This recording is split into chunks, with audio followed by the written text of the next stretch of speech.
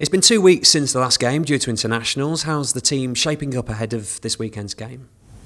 Yeah, I mean, fine. It's it's, it's given us a chance to to, to reflect um, on where we are at this present time. Um, I think we go into the game in terms of obviously on the back of two two positive results. Um, in terms of the team news, um, we've had Tom Huddlestone back training with us. Um, George Honeyman's been back training.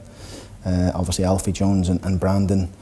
Um, we've had a bit of a bad news, and Alfie's going to be out for three or four weeks, maybe. Uh, Brandon, um, again, something similar around a similar sort of time frame. Um, but everybody else is fine, and um, we're pleased. The international players have come back uh, today. Both, oh, sorry, all three of them uh, has trained. Um, and you know it was nice for them to, to be picked and, and, and called upon for the countries. Obviously, Josh came on in the first game and, and started the second.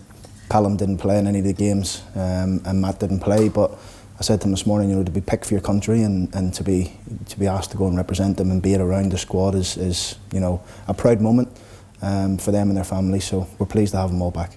What are the issues with Alfie and Brandon? Um, Alfie's obviously you've seen in the game against Blackpool. He's he's tried to you know, defend the ball that's that's gone down the side of him, and he's just he's just felt his hamstring. Um, it's a bit of a, a grade. I think it's a grade two on his hamstring, which is going to be three four weeks. So he'll be working hard in the gym to try and build that up. Uh, Brandon took a knock uh, in the 23s game, uh, the same day of the Blackpool game actually. Um, so not only did we lose Callum Elder after that game, we lose Brandon on the same day. Um, again, it's it's it's, it's, it's his knee, um, but we'll see how he how he copes with the with the treatment.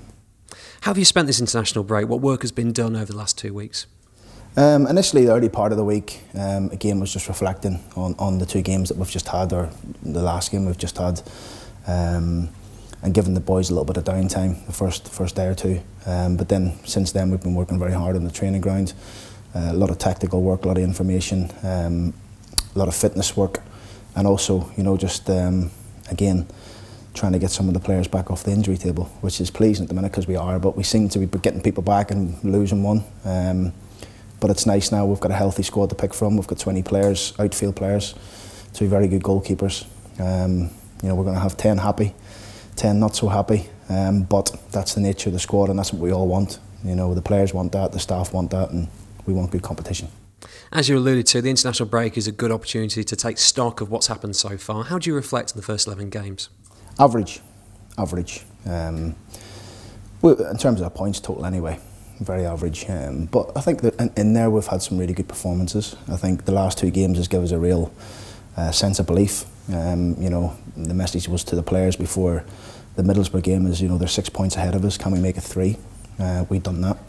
Again, we go into a game at the weekend uh, with a team who's had a really good start um, on the verge of the playoffs and credit to Huddersfield but we know if we can go there and get three points we can go five points behind them um, that's how tight the division is you know it's really really tight and you win two three games you can propel yourself straight up to the straight up the league um, and that's our aim and that's our focus but you know the outcome is to do that is to go and win on Saturday we got to make sure we get the processes right and we got to make sure we we focus on what we've done in the training ground you know for the last 10 days um, especially the next two days, and, and, and try and go, go and deliver the plan.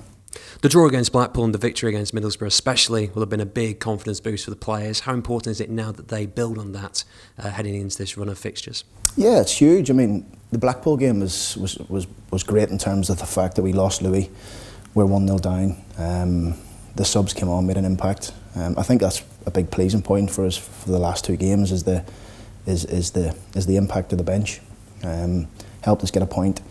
You know, Tom Eaves coming off the bench and, and, and scoring against Blackpool, and then Mali coming off the bench and scoring against Middlesbrough.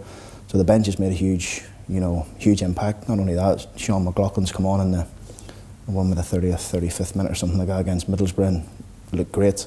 So on the back of those two games, we, we were excellent in terms of how we responded to the to, to the, going down to 10 men. And in the Middlesbrough game, we knew we had to work hard, we had to land on second balls, we had to be ready for the fight against the Neil Warnock team, and I thought we did that. Um, the crowd were brilliant on the night. You know, it was the loudest I heard the fans for a while. Obviously, we haven't had them, you know, for, for the best part of a year and a half. So it was great to, it was great to give them a victory, you know, because um, they hadn't seen it much and they didn't see us in the, in the promotion season. Um, but we stuck, we, we stuck to the plan, we stayed strong and we scored two excellent goals to win the game. On Mallik, what will that goal do for his confidence? Yeah, hopefully it'll, it'll boost his confidence. Mallik has actually trained very well over the past week or so. Um, looking better, looking more like himself. I think the goals obviously helped him. Uh, you know, he's coming back from injury. He's, he's been, I think I touched on it probably a few weeks back when I said, look, we, we've thrown him straight into the deep end. Uh, not a lot of time to train in terms of game recover, game recover. Um, but this two weeks, he's worked very hard. He's had, he's been in when the players have had a, a day off. He's worked in the afternoons. Um, we just need to try and get him up to speed because we know that he's such a big player for us when, when he's firing. So hopefully he reaps the rewards of the of the last couple of weeks and obviously that goal against Middlesbrough. One player really impressed against Middlesbrough, 21 today, Di'Shon Bernard. How impressed have you been with the step up he's made from Championship to the Championship? Yeah, I mean, again, Di'Shon's a, a young player, up, up and coming player. Um, you know, he's in the games he's played, he's played against some top top forwards. You know, we think he made his debut against Fulham against Mitrovic, and he handled him very well. I know he scored, um, but Di'Shon in a whole in the game was was very good against him. Um, and, and he's, impro he's improving all the time. He's a young boy. Um, he's a good character. The boys love him around the training ground. His, his performances against Middlesbrough was excellent. Um, and again, we're looking forward to, to continue that uh, the development in his, his plan. We've had Man United come down and visit us and see how he's getting on, which was great. And we had some good feedback from them. So yeah, he's doing really well. Huddersfield are just outside the top six. What have you made of them so far this season? Very good start. Very good start. I mean, they, obviously they, they they didn't start too well in terms of their first one or two games, whatever. But after that, they've got stronger. Um, you know, the manager in there's got a certain style of playing. Um, they seem as if they've got a good unity there. Um, so it's a tough game.